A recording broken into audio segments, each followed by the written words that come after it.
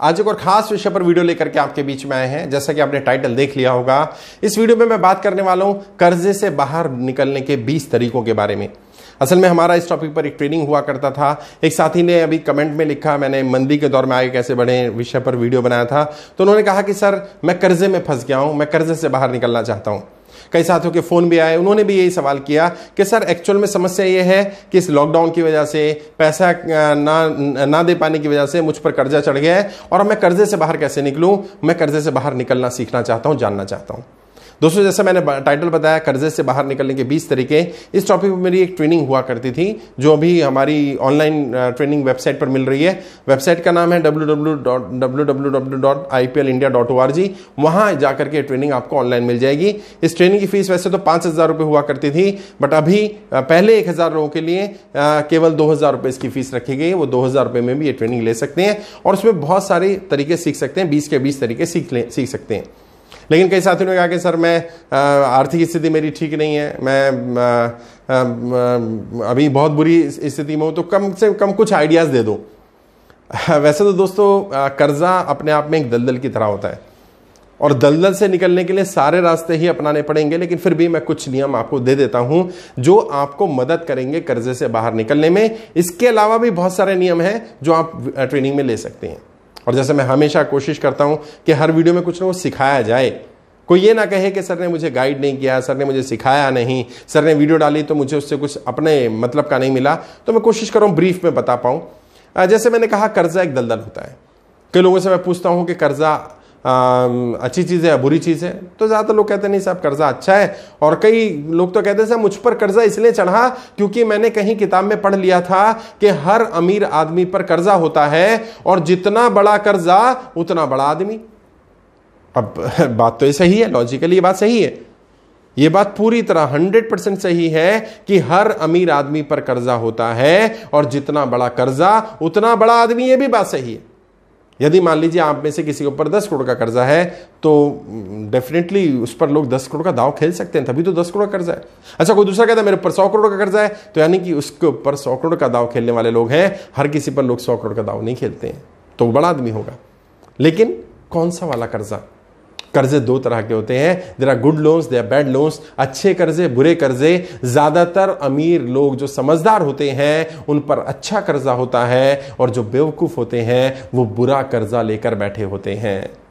अब समस्या है कि हमारे ऊपर जो कर्जा है, हमें पता ही नहीं वो अच्छा या बुरा है। तो अब हम उससे निकले ना निकले? अगर अच्छा है तो नहीं निकलना चाहिए, लेकिन अगर कर्जा बुरा है तो निकलना चाहिए। अब कैसे पता चले कोई कर्जा अच्छा है या बुरा है?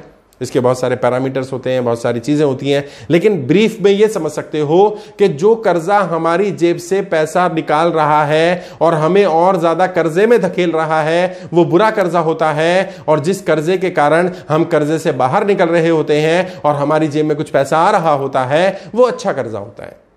यानी कि कहीं पर हमें कर्जे से भी कमाई हो रही है तो अच्छा कर्जा होगा और कहीं पर कर्जा हमारी जेब से पैसा निकाले जा रहा है, नुकसान पर नुकसान किया जा रहा है, वो बुरा वाला कर्जा है। और बहुत सारी कैटेगरीज है, कितना अच्छा रखना चाहिए, कितना बुरा रखना चाहिए, कैसे रखना चाहिए, वो डिटेल में कभी आपको बताया जा सकता है। लेकिन ये बात सही है कि कर्जा एक दलदल की तरह है। अब दलदल में फंसने का, फंस जाओ तो निकलने का नियम क्या है? दलदल में फंस गया अगर इंसान तो हमें क्या करना होता है? दलदल में फंस जाओ तो सबसे पहला नियम अपनाओ। पहला नियम है, हाथ पैर मारने बंद करो। जी हाँ, दलदल में जितना ज़्यादा हाथ पैर मारोगे, उतना ज़्यादा अंदर धसते चले जाओगे। तो दलदल का पहला नियम क्या है? जब दलदल में फंस जाओ, जहाँ हो वहीं रुक जाओ।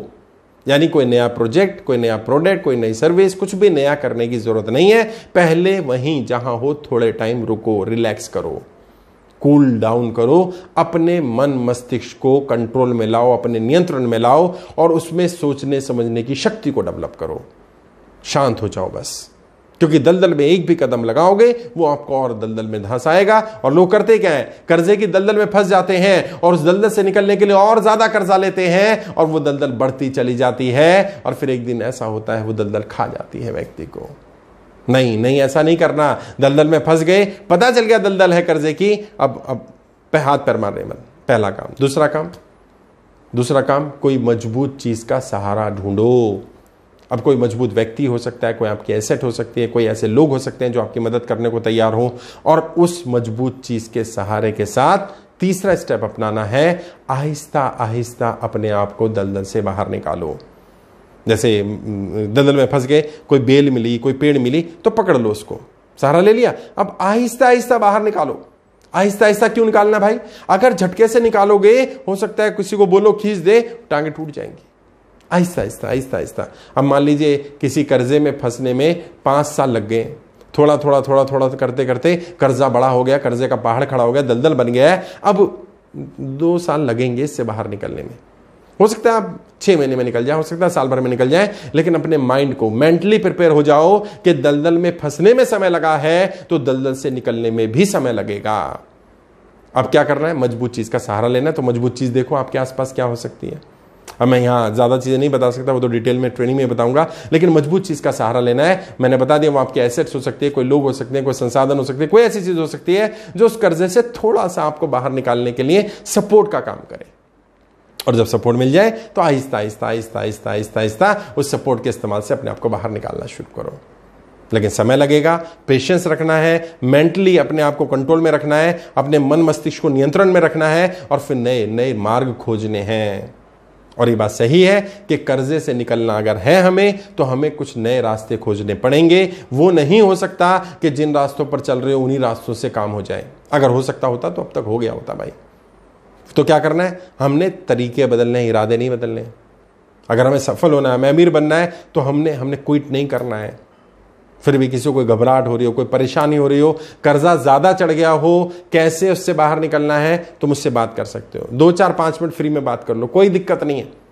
और टेंशन मत लेना, जब जीवन में लगे कि बिल्कुल सब कुछ खत्म हो गया, कोई संभावना नहीं है, कोई मदद नहीं कर रहा है, याद कर लेना, एक व्यक्ति खड़ा मिलेगा तुम्हारी मदद के लिए, और फ्री ऑफ़ कॉस्ट खड़ा मिलेगा।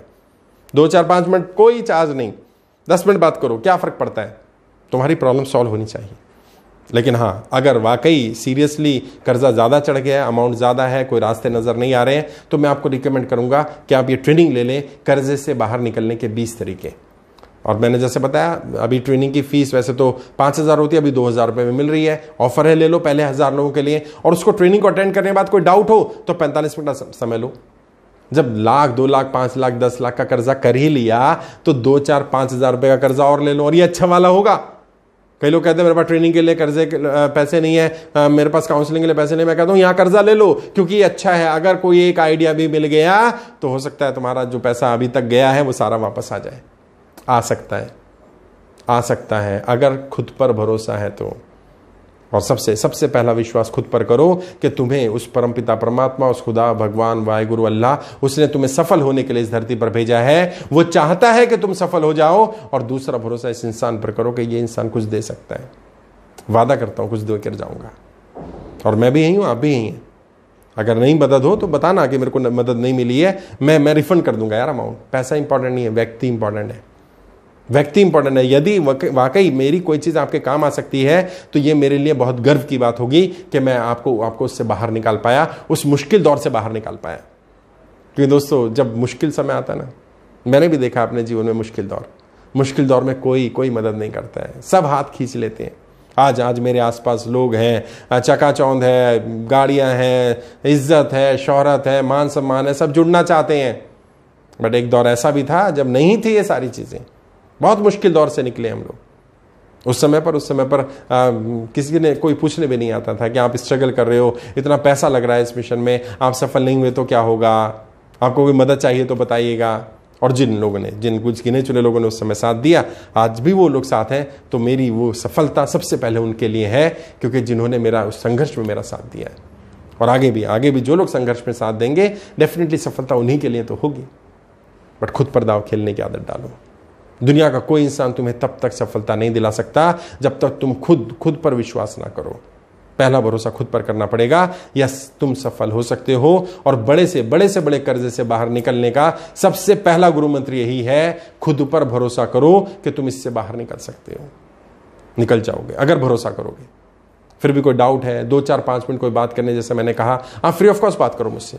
वीडियो के डिस्क्रिप्शन डिस्क्रिप्शन जाओगे, आपको फ़ोन नंबर मिल जाएँगे, मेरी टीम का नंबर मिल जाएँगे, वो डायरेक्ट मुझसे कनेक्ट करा देंगे आपको। फिर भी कोई सवाल है, कुछ पूछना चाहें तो नीचे कमेंट बॉक्स में लिखिए, वहाँ भी मेरी टीम आपको नंबर दे देगी, ताकि मैं आपको गाइड कर पाऊँ। मैं समझता हूँ ये ट्रेनिंग आपके ज़रूर काम आएगी और आपके जीवन बदलने वाली ट्रेनिंग होगी। आज के लिए इतना ही, आगे किसी और विषय पर बात करेंगे। आपके उज्जवल भविष्य के लिए हार्दिक शुभकामनाएँ। जय हिंद, जय भारत।